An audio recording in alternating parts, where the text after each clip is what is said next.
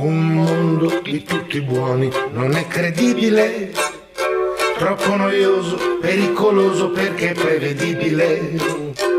Un posto di tutti santi non è visibile, troppo lontano e fuori mano è irraggiungibile.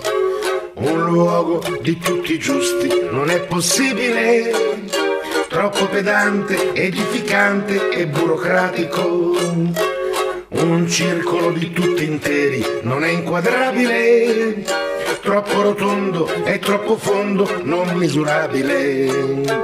Un mondo di tutti vivi non è economico, troppo affollato, troppo sudato e immantenibile.